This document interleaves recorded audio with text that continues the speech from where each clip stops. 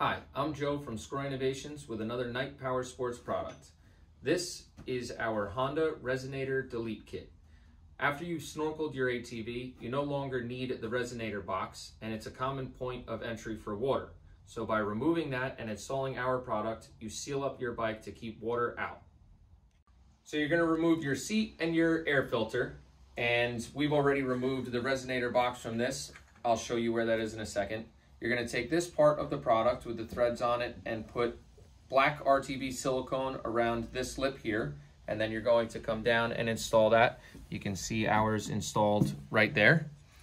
And then around the other side of the ATV, you're gonna take the nut that comes with the kit, and right here, you're going to screw it on as you can see here. This location is where your resonator box was. You're gonna remove that before doing it.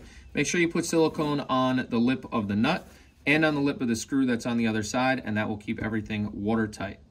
And that's it, that kit is installed.